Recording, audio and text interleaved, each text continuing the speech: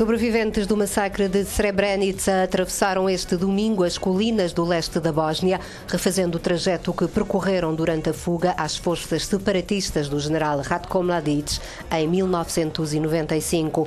Na altura, 8 mil homens e rapazes muçulmanos foram exterminados.